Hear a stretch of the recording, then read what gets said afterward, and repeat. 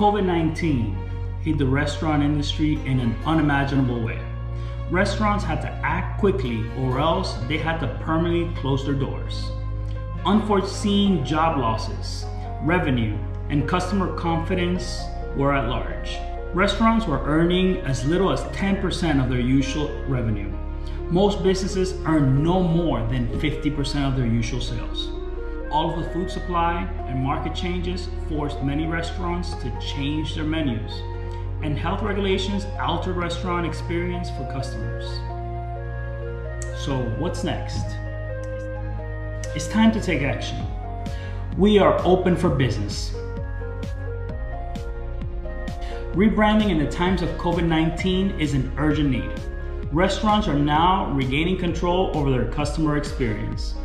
We don't know how long these conditions will last and what the new normal will be, but restaurants can still take action. In order to do that, I recommend you to ask yourselves a question What is important to your customers now?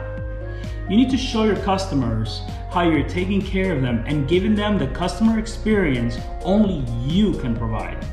The goal is that they don't forget how you made them feel.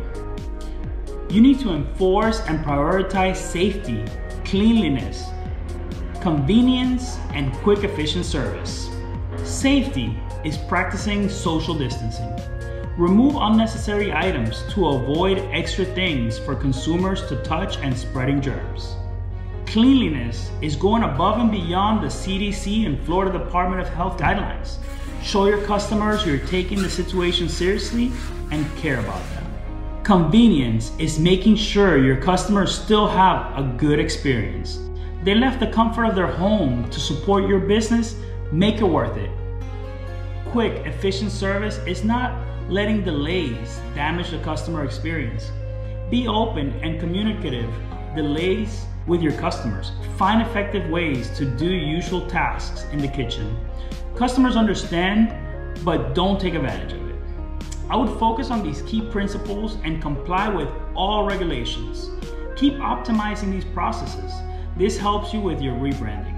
Show your consumers how you've changed for the better. Emphasize to your consumers this new brand identity and own it. Where did I learn this? I've been in the food service industry for 12 years. Everything I'm saying, tried and true. Learn more about my experience and the insights I've gathered from my career on my marketing and sales management blog. Thank you.